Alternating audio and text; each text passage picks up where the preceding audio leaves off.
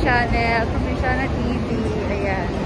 Samahan niyo po muna akong mag, ano, mag-ikot-ikot kasi i-off ko ngayon kaya ikot-ikot. Ayan.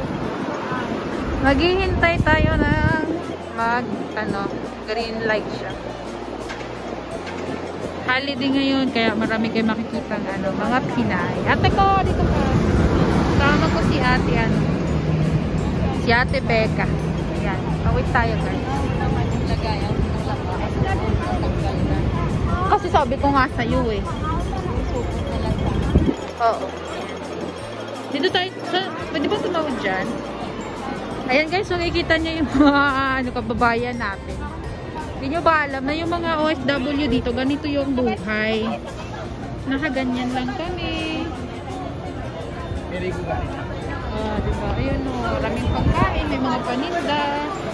Tabi-tabi lang kami nakaupo pag holiday. Pero ako minsan kasi hindi ako lumalabas. Minsan nasa bahay lang ako, nagwa-whitey-whitey. Ganun. Yan, makikita nyo yung mga Pinoy.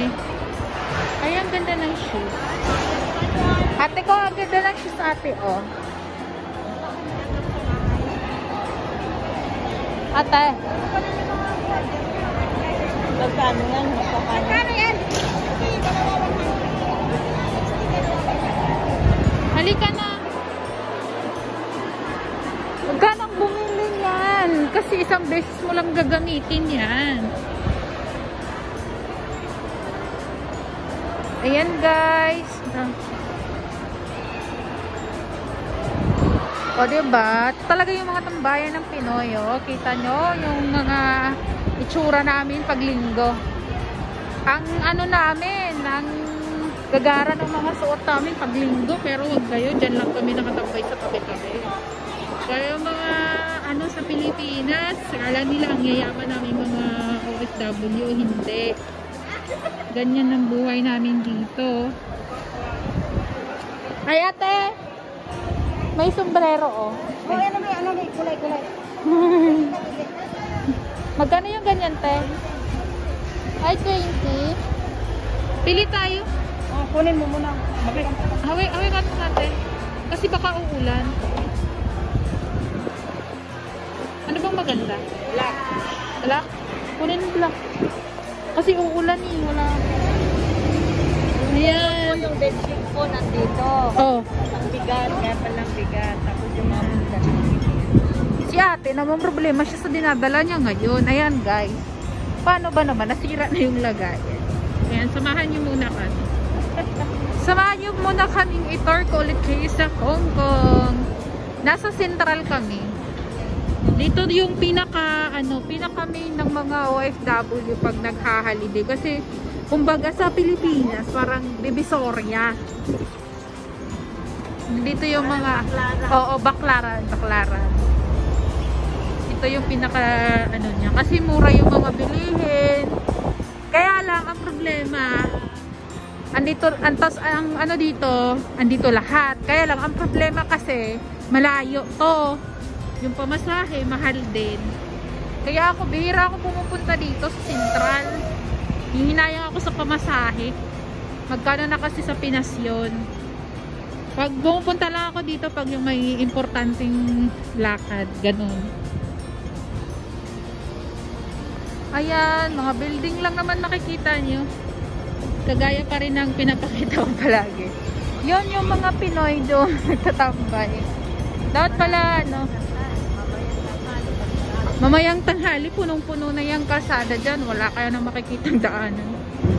Sinasarado kasi nila pag, ano, pag Sunday.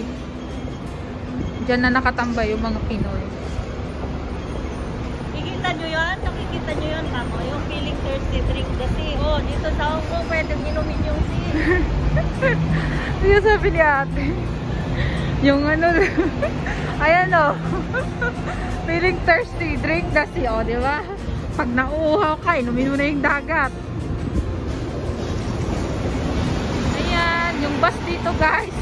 Ayan, tram yan, tram, tram. Diba? Ganyan lang.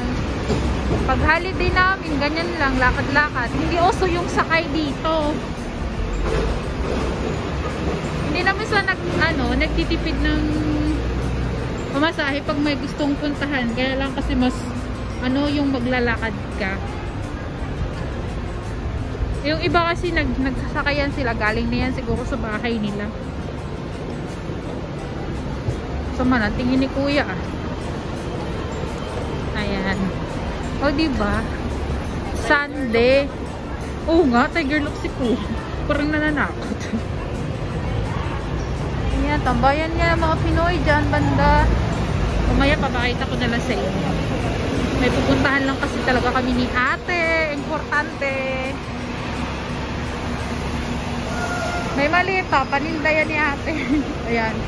May mga bit-bit yan sila, mga paninda nila. Bus, bus.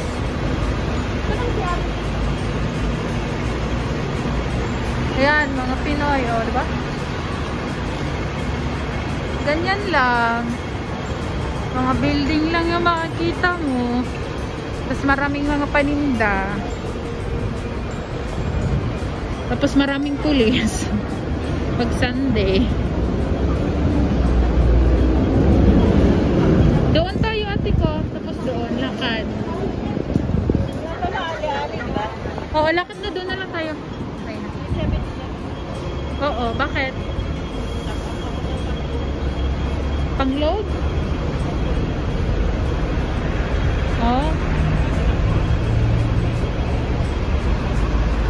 Ayan, guys. Ganyan lang makikita nyo.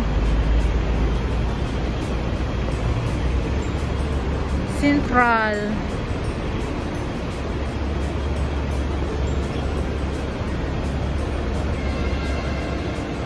Diba?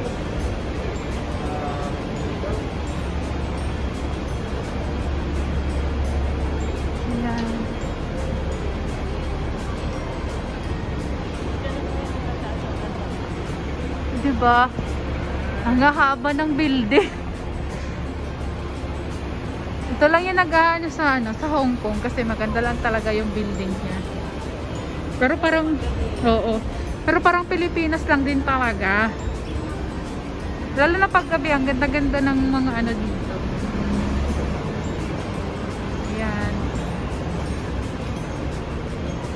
Ikot-ikot lang muna.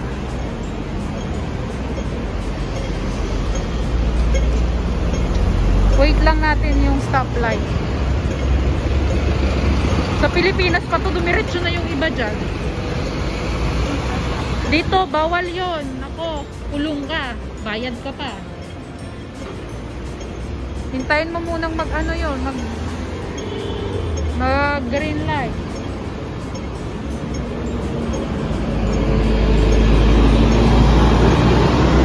Ayan. Yan lang naman guys. Okay na to pang premiere. Ayan. Ikot-ikot. Magbababay na po ako. Thank you for watching. Hope you enjoyed this video. Don't forget to like and click the notification bell for more upcoming videos. I love you, Horot. God bless you all. Bye-bye.